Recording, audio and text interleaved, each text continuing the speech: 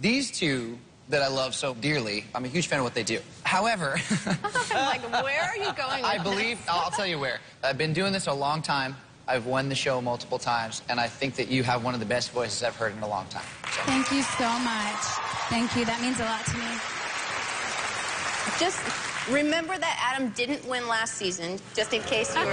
I'm not. I'm not Wait, what was last season you won? Okay, what do you want? Let, let's just talk about what do you want out of this, okay? Because you already have an incredible voice. Like your Thank you. vibrato really it gave me chills. But like once these chairs turn around, it's not just about the voice anymore. There's all the look, there's everything that goes with it, and I think that's something that I could bring to the table.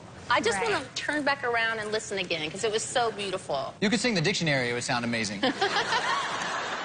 You have such incredible technique that I would compare you to like a snake charmer because you hit this note and you kept going back and forth between those two notes for like almost a bar.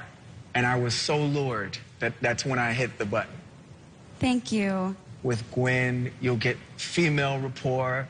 With Adam, you'll get incredible technique. I'm just asking you to be on my team. Will you please be on my team? Thank you so much. Oh. do you have any idea how competitive I am? Yes, I'm yes, I do. to I a watch fault. you.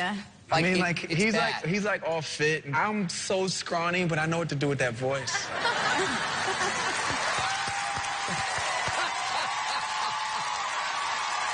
That was good. That was real good. Okay, so who do you pick as your coach? You know, I know the show. I know the show. you see, I've not looked away. Listen, we'll do Hey. whatever kind of music you want to do. It doesn't have to be R&B. You'll do the music that makes you win. Pick me. Um, Come on, Pharrell. Pharrell. hey, hey, hey. Pharrell. Okay. Pharrell. Oh my goodness. This is the Pharrell. hardest decision I've ever had to make. Make Ever. him happy. Stop it. Come on, come on. Um, I'm just gonna have to go with my gut right now, and I pick Pharrell.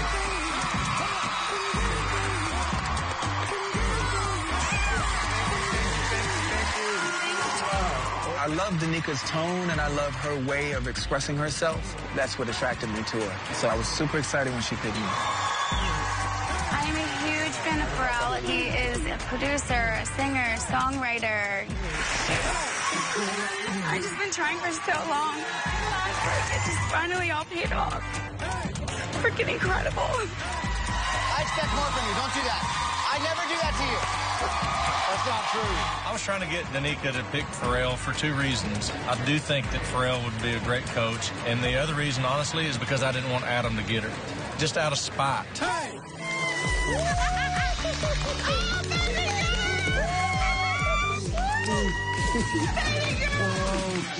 First of all, thank you guys. You're dead to me, Blake. this friendship is over. Sorry, Adam. Blake's playing dirty today. I'm not gonna let him get away with that again. You can have all your friendship bracelets back.